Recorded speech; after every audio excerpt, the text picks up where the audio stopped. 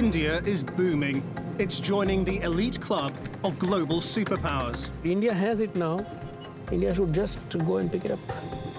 Within a generation, India's economy will overtake Japan and Western Europe to become the third largest in the world.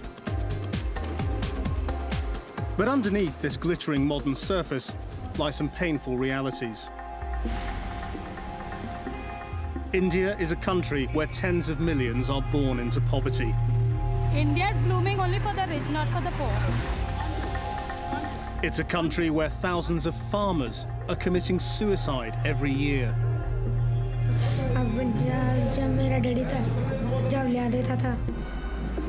It's a country where the Hindu right demand a Hindu state.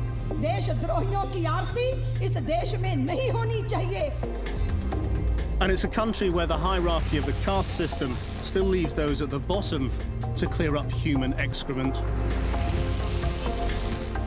Tonight on Dispatches, is this the price India is prepared to pay to be the world's next superpower? Or will the new India be able to bridge the gap between its winners and losers?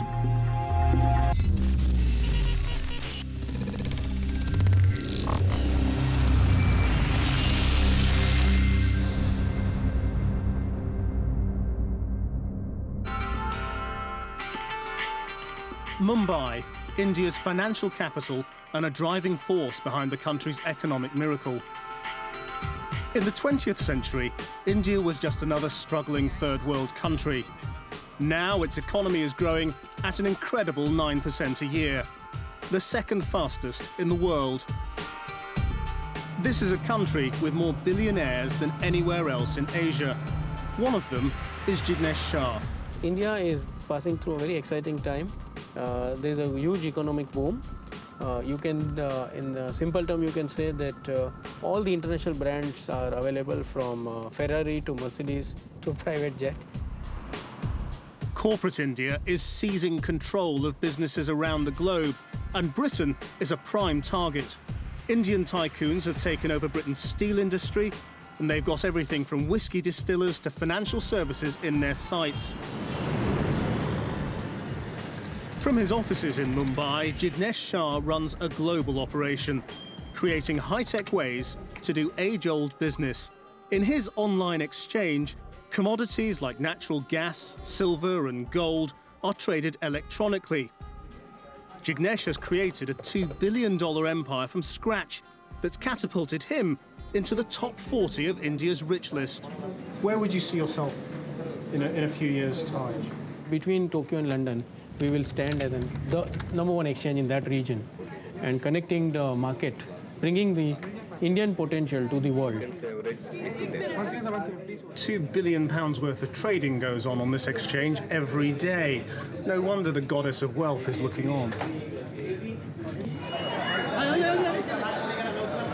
In the new India, old beliefs endure, and Hinduism, the religion of 80% of the population, goes hand in hand with the economic miracle. For billionaires like Jignesh Shah, that means regular visits to a Hindu temple to offer prayers to Ganesh, the god of good fortune. It is belief in uh, Hinduism that you start anything with Ganesh uh, god, it removes all the hurdles. So does it work? Yeah, I think uh, it works. India's economic boom is not based on sweatshops and factories. Hinduism has always placed a premium on acquiring knowledge, and the new India has tapped into this to create a high-skilled economy employing highly qualified graduates. And that's taking this country from the third world to the first in a single generation. India's boom has been knowledge-driven. It's been about information technology, call centres, becoming the world's back office. But it has ambitions beyond all of that, and I'm on my way now to what's very much the new frontier. One of the most important new growth areas is biotechnology. Private research centres like this take their pick of the 200,000 scientists graduating every year. In just five years, this company has become a world leader in the potentially lucrative field of stem cell research. So this is the non-sterile area where you have all the equipments like... The team here are in a race with the best labs in the world to produce cures for Parkinson's disease and heart failure. Around the world, there's no embryonic stem cell therapy still available. So I would say that we are one of the leaders in this area. But there's another reason for its rapid success. Using human embryos for this research is highly controversial in the West, where it comes up against religious taboos. But in India, it doesn't offend Hindu sensibilities, seen instead as simply a part of the knowledge economy. Government in India is quite uh, friendly towards uh, embryonic stem cell research. Uh, we really don't have any major concerns as far as uh, stem cell research in India is concerned. Do you ever get protesters outside? No, we don't. Are there any lobby groups trying to shut you down? Absolutely not. Not. This is an industry without the kinds of problems that it has in America. Yeah, I would totally agree with that. When it comes to biotechnology, India is racing ahead, while in America, only this month, George Bush vowed to block funding for such research. So once again, India's progress apparently goes hand in hand with its religious conviction. Not only does India escape the kind of moral and ethical debates and controversies plaguing stem cell research in the United States, Hinduism seems to complement the work going on here. India's high-tech, high-skill approach is powering the country's economic success. And not surprisingly, politicians have tried to exploit it.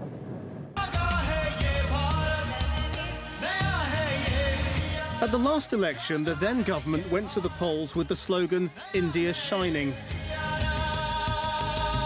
Candidates and spin doctors used this film to present a glowing image of the new India.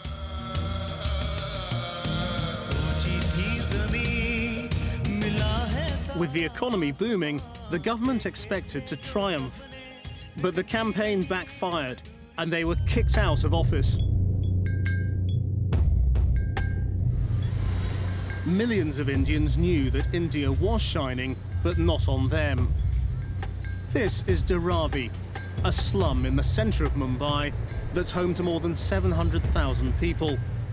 Across the city, millions more live in places like this.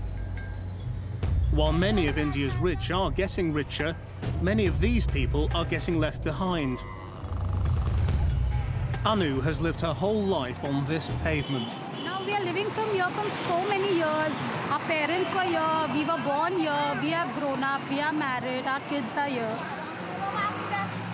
We use the toilet which is inside. Actually, we are not supposed to go, but now we have no other alternatives. And we have one which we pay one rupee and go there. That's our tell me in which way is India booming? It might be booming for the rich people. They are progressing. The government, I don't know, he's doing something which is only satisfying the rich. But for us, it's the same how it was 25, 30 years back. There's no difference. In the cities, you can't miss the poor. The rich pass by them every day. In rural India, there are millions more in poverty who remain hidden far from sight.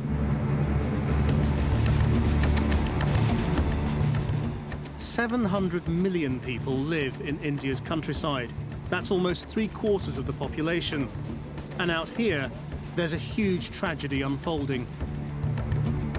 I've travelled nearly 200 miles from the capital, Delhi, to the state of Punjab, supposedly one of the richest agricultural areas in the country.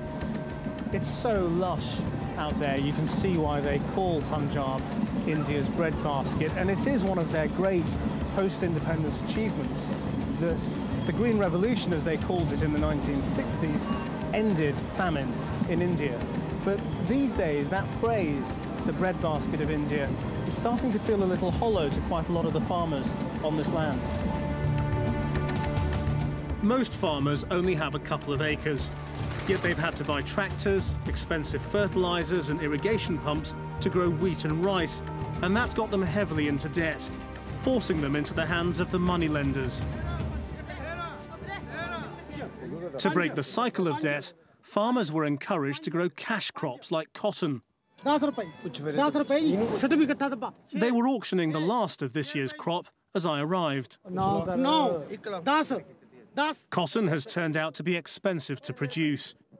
In recent years, the crop has failed for many farmers, and with prices at market low, debts have simply got worse for people like Baljinder Singh.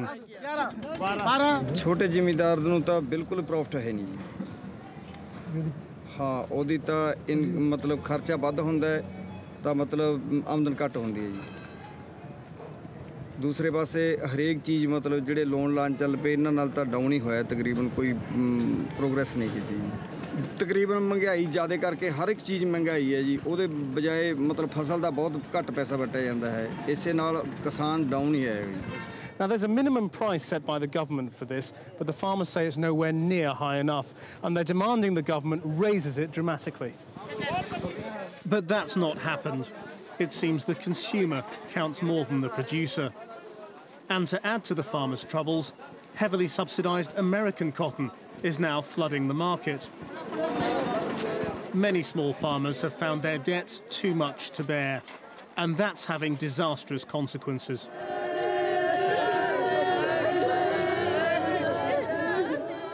In several parts of the country, there's been a wave of suicides where farmer after farmer has been unable to see a way out. Every day, individual tragedies are unfolding. The people of this village have come to mourn with two young boys who've just lost both their parents. Two weeks ago, Bahadur Singh set himself on fire after pouring kerosene over his body. His wife, Hajinder, tried to save him, but was set on fire herself in the process. She died in hospital some days later, and this is the 10th day memorial service for her.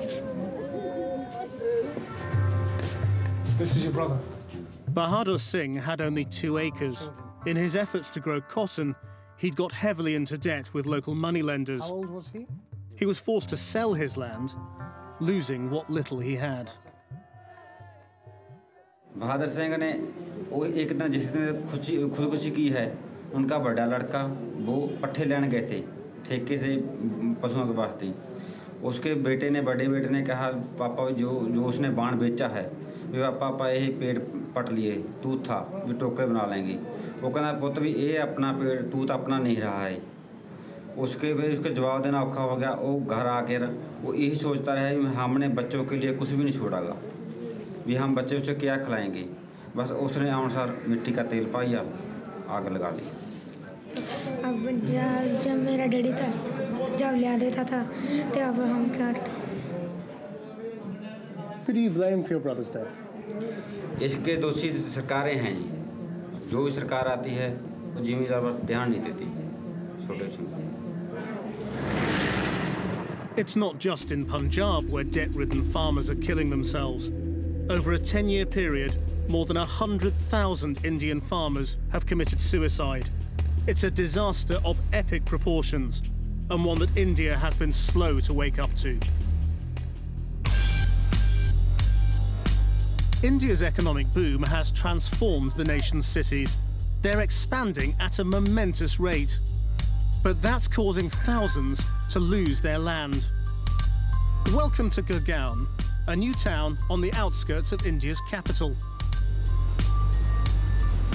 This is where you really see the incredible economic growth in India because just for mile after mile here is all brand new industrial sprawl just outside Delhi and it's not attractive but it shows you the kind of wealth that there is here and if you'd have been here just a couple of years ago all of this was farmland. And that's the problem. There's a penalty being paid for all of this growth by those who used to work this land and have now been forced out. Hari Kishan's village is only 25 miles from the centre of Delhi. He's one of hundreds of farmers in this area whose land has been taken over by the government using compulsory purchase laws to make way for more factories. हमारा गूठा करवा लिया पैसा पकड़ा दिया अब हमने ना पता था क्या देगा और क्या नहीं हाँ वो नहीं बोला फिर ये बैंक में जमा करवा देगा ना लेगा तो आप ना पकड़ोगा पैसा ना तो बैंक में जमा करवा देगा हाँ फिर बैंक में तो लिखड़वाता रहेगा तेरा बच्चा लिखड़वाओ चाहे कोई लिखड़वाओ ज़मीन तो हम ले बैंक में जमा करवा देंगे। As the builders move in, farmers on the edges of India's cities are losing their ancestral livelihoods. परेशानी यहाँ हो रही है धन की हो रही है ज़्यादा। गौआ की इनकी सेवा में लाग रहे हैं हम। हैं इन्हें कहाँ बढ़ाऊँगा भाई बात है इन्हें बेचारियाँ छोड़ देंगे और क्या करांगा? बता गौआ की जब ज़मीन गांव के अंदर नहीं है की तो फिर छोड़ इन बेचारियाँ और क्या करेंगे हाथ जोड़ लेंगे इन तक भाई हम तो गवर्नमेंट ने मार दिया कहीं जाओ मर्जी कर और क्या करें हाँ As Hari took his cows off in search of water, I headed into the centre of the village to meet some of the younger men. They'd hoped to get work in the new factories built on the land they used to farm. But that hasn't happened. ना ही तो company ले रही company में जाते हैं, बहुत local बंदे हैं। यहाँ पे आपके लिए कोई जगह नहीं है। वहाँ से वापस आ जाते घर पे कुछ काम करने को है नहीं। और गाँव में कोई ऐसी, हमारे पास ना ही तो कोई ऐसा रोज़गार है कि हमने अपना कोई काम कर रखा है या इतना इतना बड़ा एरिया नहीं है। हुआ अभी तो डेवलप की भाई, अपना कोई रोज़गार धंधा वगैरह करके खोल के बैठ जाए। इतनी बड़ी अभी मार्केट यहाँ पे पड़ी नहीं है। भविष्य जो है वो काफ़ी ख़राब है गाँव का और यहाँ का। कंपनी आने के बाद ज़्यादा ख़राब हुआ है कंपनी नहीं थी उससे पहले हम जा- अच्छे खुश थे मतलब ज़्यादा और वापस ज़मीन मिल जाए तो काफ़ी बढ़िया है इससे तो अच्छा है Thousands of farmers equipped only with traditional skills are struggling to find a place in today's India. And the fear is that's sowing seeds for future conflict. Back in Delhi, I met up with the man who's credited with founding India's Green Revolution in the 1960s. Today, MS Swaminathan fears a different kind of revolution. you must have a policy of government which is pro farmer, pro agriculture. Modern industry is not giving them jobs. Therefore, you have a double bind here in the sense agriculture is the only method of livelihood. Secondly, if agriculture is not supported in the way industrialized countries are doing in a globalized economy with very poor farmers, uh, they can't compete. They see in the television today very affluent. One section of the community are so affluent they can spend thousands of rupees for one dinner or one marriage cost the rich people cost so much money. While millions of people are starving, undernourished, and you're not. So I think any society which transgresses from the principle of social equity beyond a point, then you have uh, an explosive situation.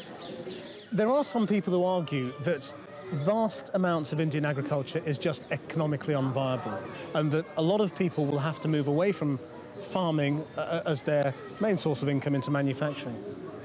You want to have a nation of landless laborers, of 500 million landless laborers. That's what they're recommending, such economists. If they create those 500 million landless laborers, the country will be completely ruined. Huh?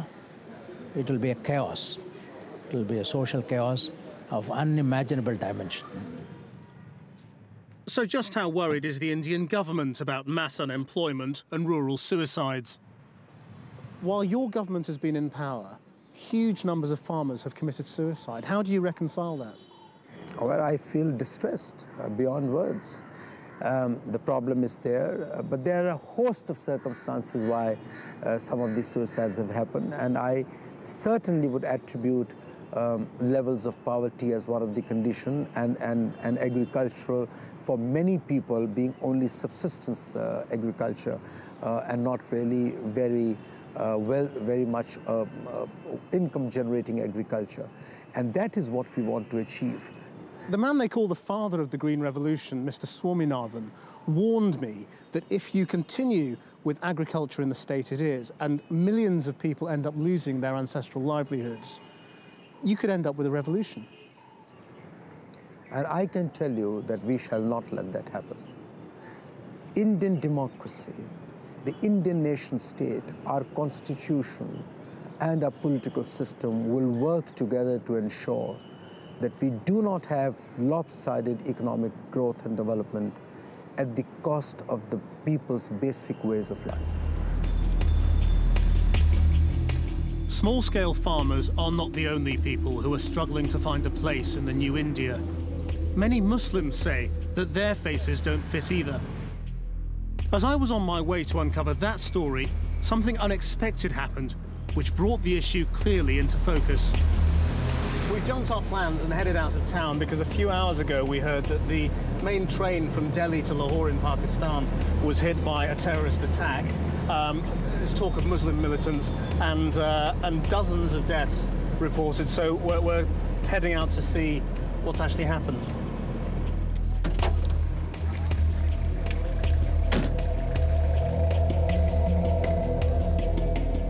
Trains have become popular targets for terrorist attacks in India, often rooted in the tensions between India and Pakistan. For the 30 years it has linked the two countries, this train has been a symbol of hope for both sides, making its destruction all the more devastating.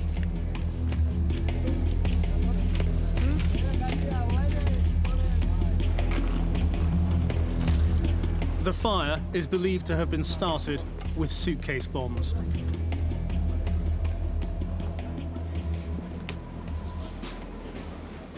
I mean, just imagine this carriage jam-packed with people in total panic. You can't get out because there's bars on the windows. You can't get out of the door because the doors are locked.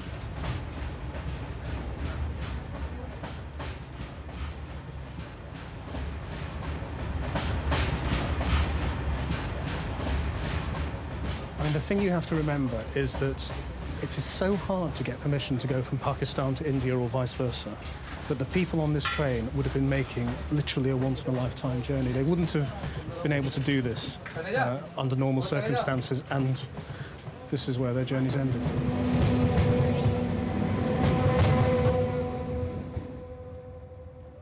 At the nearby hospital, 65 bodies are awaiting burial, many of them badly charred. Bags of ice are being used to keep them preserved in the hope that relatives can identify them. Who, is she? भाभी हूँ। पाकिस्तान जा रही थी लाहौर जा रही थी ये अपने भतीजों से मिलने के लिए। हमने यहाँ फिर देखा तो हमें पहचान में नहीं आया लेकिन हम दोबारा जब उनके पास आए ना तो देखा तो पासपोर्ट वगैरह मिला तो उससे हमने पहचान की। बहुत ही गलत है इससे आतंकवादियों के काम तो पूरे होते नहीं है इसमें इंसान है चाहे वो हिंदू हो या मुसलमान हो इनसे उनके मंसूबे पूरे नहीं होते। Most Indians blame these attacks on a Muslim minority supported by Pakistani groups opposed to the peace process. But it's India's mainstream Muslims who face the backlash. There have long been tensions between Hindus and Muslims, at times erupting into communal violence. Five years ago, the state of Gujarat was hit by some of India's worst rioting. It's reported that up to 2,000 people were killed, mostly Muslims, as Hindu mobs went on the rampage. It followed an attack on a train in which 59 Hindu pilgrims had been killed. Human rights organizations claimed the mobs had been stirred up by the politics of Hindu nationalism.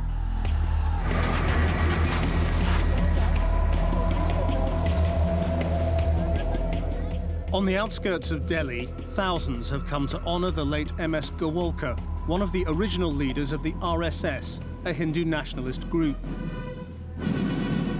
The RSS believes the country should be a Hindu state, claiming that all Indians are Hindu in origin, regardless of their current religion. The uniforms may look Boy Scout, but Golwalkar was an admirer of Hitler in 1930s Germany and said India could learn from his ideas of racial and cultural purity. After the Gujarat riots, today's leaders stated that the safety of Muslims lies in the goodwill of the majority. But they deny being anti-Muslim. Today's speeches praise Hinduism and use coded language without identifying the enemy. तुम्हें निश्चय करना है कि अगर देशद्रोही सूली पर नहीं चढ़ाया गया तो निश्चित देश सूली पर चढ़ेगा। इसीलिए कातिलों की मुक्ति के विधान इस देश में नहीं होने चाहिए। देशद्रोहियों की आरती इस देश में नहीं होनी चाहिए। वंदनियों का वंदन होना चाहिए और दंडनियों को दंड मिलना चाहिए। The idea of a Hindu nation has entered the mainstream of Indian politics. The RSS has close links with the former party of government, the BJP. Up on that stage is the man who was Prime Minister up until a couple of years ago, his former Home Minister, and an ex-Vice President. This is not a fringe meeting. The former Prime Minister, A.B. Vajpayee, recited an inspirational poem. क्षणिक जीत में दीर्घ हार में जीवन के शत शत आकर्षक अरमानों को दलना होगा कदम मिलाकर चलना होगा As I left the rally, some of the younger supporters were certainly fired up.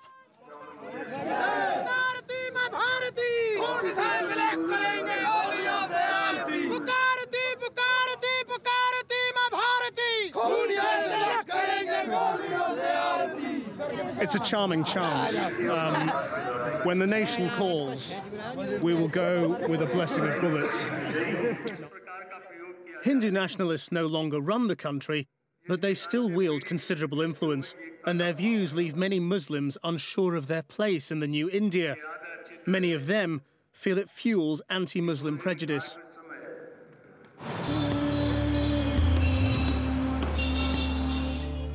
Mumbai has a large Muslim population, more than one in six. Many live in poorer areas of the city and struggle to join the new booming India. Wasim Thankar is a commerce graduate. Despite his degree, he works in his father's corner shop, unable to get the job he studied for.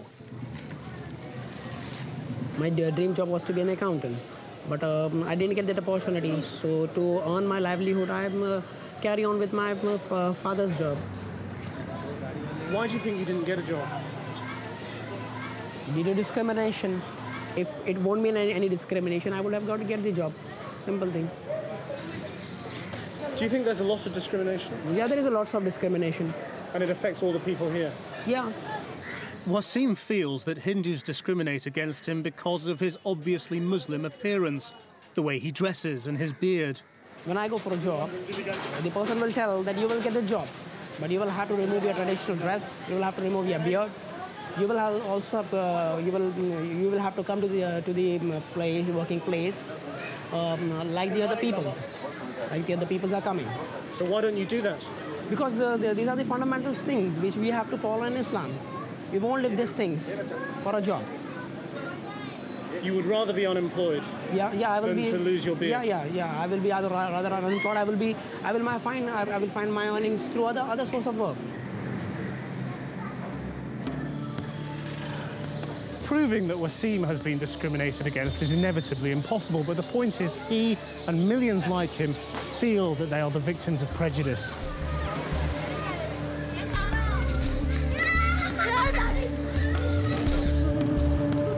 Muslims who do manage to get ahead come up against other barriers. Trying to buy a property in Mumbai's luxury housing market, for example, is pretty much impossible in some areas. Successful businessman Salim Awari has been attempting to buy a flat in this complex for the last four years. When I went there, very first day, they gave us a form. They asked us to write details, your name, telephone number and all, and they told us, okay, we will call you later. But they never called us. They, uh, uh, when I repeatedly called them, they said first phase is over, we'll call you for second phase, then second phase was over, then third phase was over. So I think all, almost 1100 flats they have sold out, and they never call us. Sometimes they, you know, directly uh, says that we don't have space, and sometimes they says, okay, sorry, we don't give it to Muslims. They've said that to your face? Yes. How do you feel about what's happened to you? I feel very bad. I feel insulted. I feel humiliated. It's disgusting. I decided to take a look for myself, posing as an investor from London.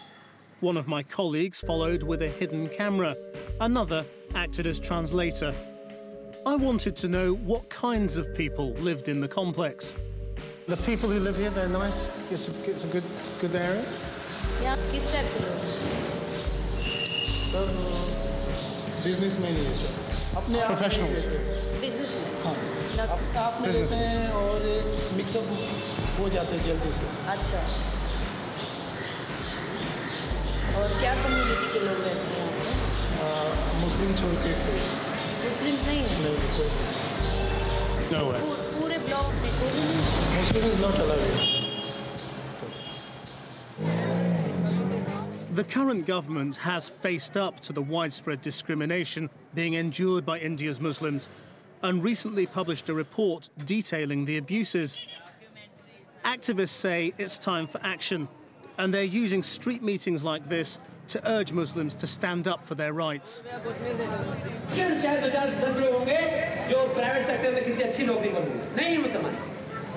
Hindustan के मुसलमान 60 percent मुसलमान अपने ये कारोबार पान पट्टी दूध चाय जनरल रेस्टोरेंट दुकान खोल के मुसलमान पर गुजारा कर रहे हैं हिंदुस्तान में 25 परसेंट मुसलमानों के ऐसे बच्चे हैं जो ये तो स्कूल गए नहीं। एक करोड़ से डेढ़, दो करोड़ के तो बीच में एक फिगर बनती है। इतने बच्चे मुसलमानों के जो स्कूल गए नहीं। ये क्या बनेंगे इस देश का क्या होगा? कहा जाएगा हमारा देश? आप अगर देखें ये पूरा सर्वे उठाकर तो मुसलमान हर जगह मार्जिन पे खड़ा पाएँगे। मार्जिनलाइज किया गया। पचास साठ साल से मुसलमान ढकेलते रहता है ना कमरा है ढकेलो ढकेलो ढकेलो ढकेल किनारे एकदम लाके दरवाजे पर खड़ा कर दिया कि आपकी मारेंगे ठोकर तो बट से नीचे जाने वाला है India's founding fathers dreamed of a secular nation in which people of all faiths would flourish equally. It's a matter of growing concern that what has flourished is anti Muslim discrimination. Deep down, Indian people are secularists to the core. Religion is important to them at another level. It does not impinge on their day to day relations with other human beings. How can you claim that people don't let religion affect their relationships with other people when this was a nation in which a million people died at its founding, there's been communal violence ever since, and there's still ongoing discrimination? Well, I agree that there have been occasional communal flashpoints in the country, and I do not doubt the fact that there are fringe elements in any society, in any country, that would want to exploit a situation that has happened in India. I went to the RSS Founders Day rally where they were saying, India for the Hindus. What do you think of them? I can only condemn it. We never conceived of uh, India or Bharat as, uh, as an, an, India where only the Hindus or people professing the Hindus faith will live. This is a country which for thousands of years have ensured a harmonious existence of people of all faiths and religions. And that is the India I would like to nurture, that's the India I would like to live in. In the big cities of India, hundreds of shopping malls have been built in the last five years. With the boom has come bigger salaries, and that's fueling a retail explosion. Time was your relatives would ask you to bring them something from Marks and Spencer's when you came here. These days, if you've got the cash, you can get whatever you want right here in India. The new middle class are making the most of the economic boom. If you've got it, flaunt it. Do you spend a lot of money on clothes? A lot. A lot. She's the main oh shopping champion. You're the big shopper. The Economy is growing, there's more money. Yeah, that's why people are spending more. The stuff you get is all original. So you, for a brand conscious person, I think this is the best place to be. Do you think it shows India worshipping the god of materialism now? I don't remember God saying that I shall not go to a mall. that wasn't part of the deal. and why should it be? After all, this is a country where the god of good fortune is on sale inside the mall. Solid silver Lord Ganesha, over half a million rupees, that's around six and a half thousand pounds, and they've sold six of these in the last couple of months. The Hindu gods sit comfortably with the new consumerism, but there is a darker side to the religion. An age-old set of codes limits the ability of millions to share in the new prosperity. It's called the caste system. We're back in the nation's capital, New Delhi now, but there's not much sign of New India here. We're in a poor end of town, on our way to meet some of those who are absolutely at the bottom of society, because this is one of the most hierarchical countries in the world, still defined by the caste system, the way Hindus have stratified themselves for thousands of years. Traditionally, every Hindu had his place in the social order. Each caste signified a profession, from priests at the top down to warriors, traders, and farmers. Below them were the untouchables. These days, those at the bottom of the caste system are called Dalits. They used to be called untouchable because they did the worst jobs in society, and upper caste Hindus would refuse to have any physical contact with them. Satish Kumar cleans sewers and toilets. It's a grim task. Even among the Dalits, there is a hierarchy, and as a member of the Valmiki caste, he's among the lowest of the low. He was born into this job, his parents did it, it's been his family's role for generations. मजबूरन करता पड़ता है लेकिन गंद बगों से बुरा तो लगता ही है इसके बजाय अगर कोई दूसरा काम मिले तो वो कर सकते हैं। गंदगी में हमें भी अच्छा ही लगता करना भी हमें लेटरिन धोए या नाले के पानी में से काम करें मजबूरी समझो। But why does it fall on you to do this work? अब मेरी जगह कोई ब्राह्मण होता या कोई भी और दूसरी कास्ट का होता तो वो काम ये नहीं कर पाता। वो तो कर लेगा अफसर उसे खुद ही ना इधर उधर लगा देते। जैसे हमारे ऊपर सीनियर लगा दिया या पानी पिलाने पे चाय पिलाने पे चपड़ासी लगा दिया वो काम ये नहीं कर पाता। At India's independence, caste based discrimination was outlawed. College places and public sector jobs were reserved for Dalits in a system of quotas and reservations. It's given them new opportunities beyond their traditional roles, but it's provoked a backlash too, and last summer, the issue turned explosive.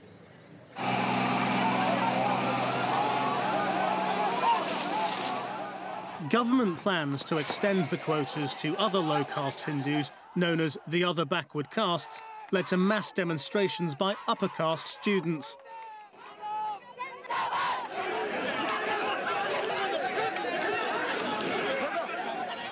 I met up with students involved in the protests at one of the prestigious Indian Institutes of Technology, or IITs, the powerhouses of India's high-tech revolution. The IITs in India are a dream for most of the science students at the school level. And with this new quota being introduced, the number of seats becomes very limited. We have our friends who couldn't make it and our brothers And and, it really sisters hurts. People up. who really deserve to get into places like these simply could not because of the competition. The vast majority of people from lower castes still have terrible opportunities by comparison to most of you. Do you not feel that a positive discrimination is a good thing? The government simply does not do anything for the education of the, these backward classes at the younger level. The study pattern and the courses of study are not very easy. And you're saying there are students just not up to it? Exactly. But, but do you not see that all of you are from privileged backgrounds? And by, by virtue of your birth? I would like to say that had it been genuine upliftment of the poor or the uh, underprivileged caste, all of us would have been for it.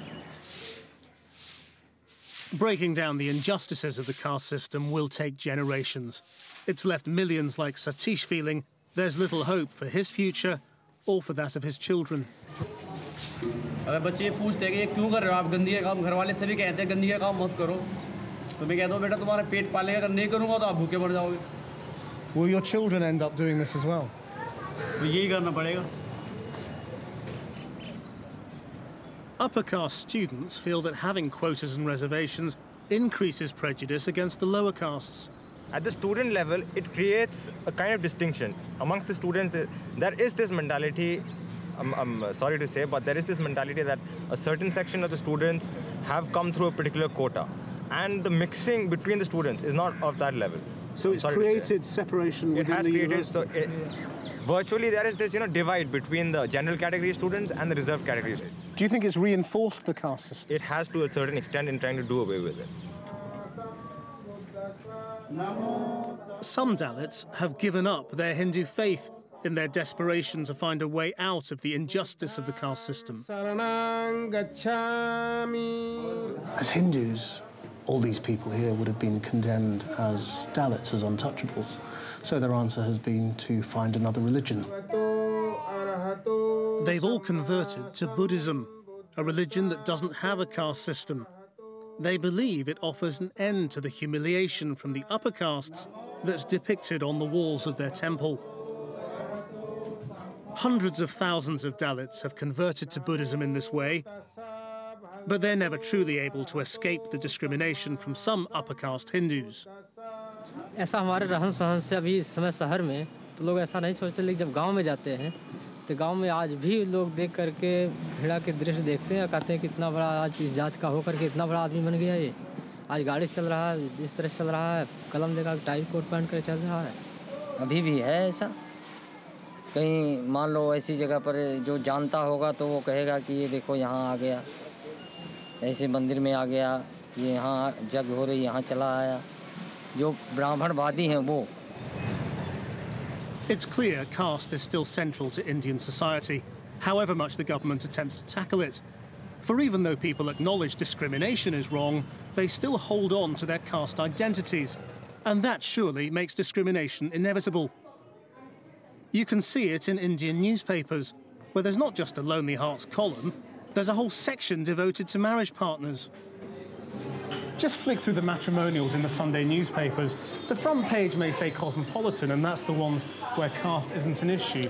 But the vast majority of this section of the newspaper is all divided into individual castes and communities, from Brahmins to Kayas to Kshatriyas to the scheduled castes as well. And it really shows you just how ingrained caste still is in the modern India.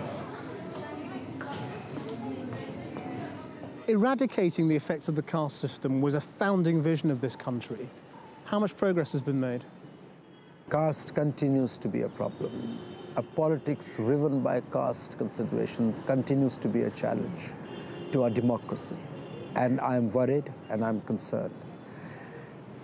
The fact is that thousands of years of civilization and history um, is confronting modern India. And, and in that interface, I hope that modern and progressive India will prevail, because that is where India's future lies.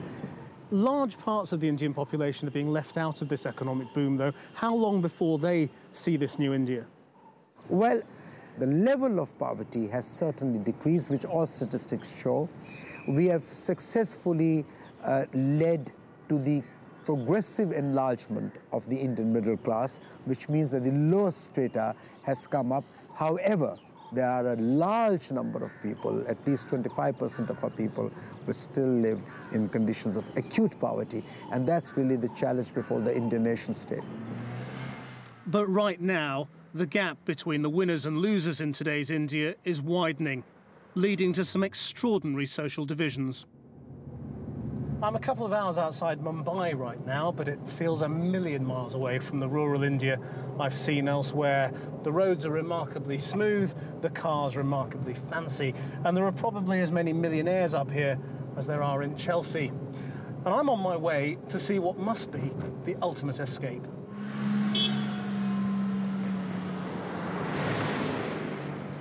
Aamby Valley is a huge gated community where the ultra rich can protect themselves from the uglier realities of Indian life.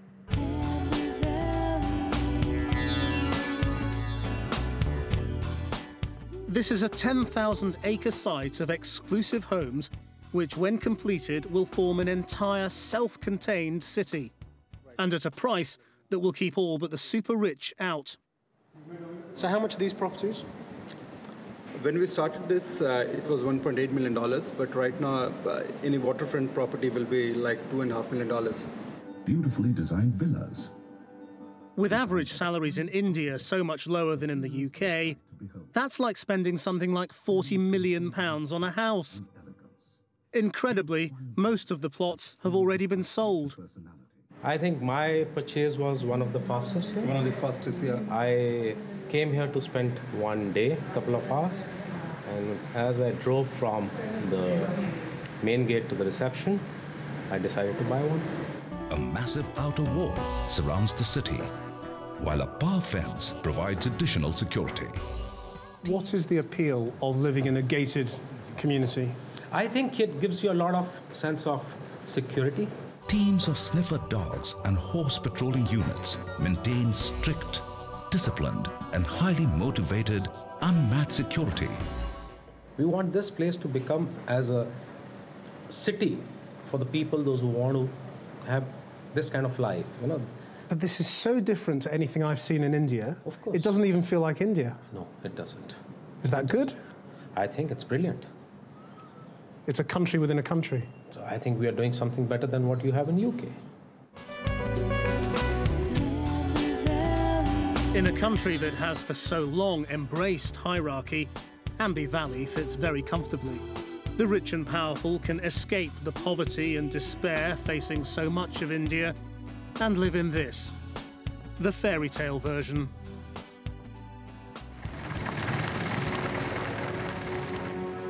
My last encounter with booming India revealed its challenges in stark relief. Here in Mumbai was yet another building site for yet more high-tech businesses that are powering the economic boom. Building them are hundreds of migrant workers, unable to make a living in the countryside. These people are forced to live in squalor on site with their families. People like Sindubai, पैशावाल्याला तरी कोणी ओळखीन गरीबाला कोण ओळखीत आहे? ओळखीत आहे का? आता कण चांगलं वाटतंय बिन खराब बी वाटतंय. आता दुनिया राहती बिल्डिंगमध्ये मग आम्हाला का राहू वाटत नाही का? पण आमची गरिबी परिस्थिती आहे ना आम्हाला काम करणंच भाग आहे. Do you think your children will ever work in these call centers? वाटतंय ना का? नाही वाटत. आता कोणी पण श्रीमंत राहिले ना आपण गरिबी राहिले तर आपल्याला किती अवघड लागतंय ना? की बाबा आपल्याला बी असं असतं तर आपण पण चांगले असतात. असे तर आपल्याला घमिले उचलावं लागत नाहीत असं आपण म्हणलो असतो ना. आपल्या मनातल्या मनात तर आपण शोध करतात ना. का नाहीत करीत?